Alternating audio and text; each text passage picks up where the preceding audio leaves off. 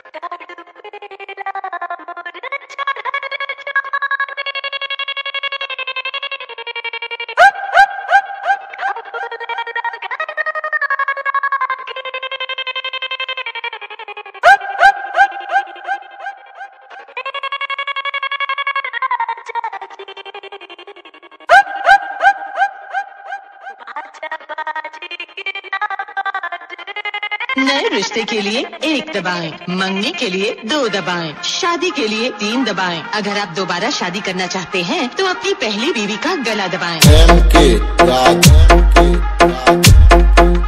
Ghatampur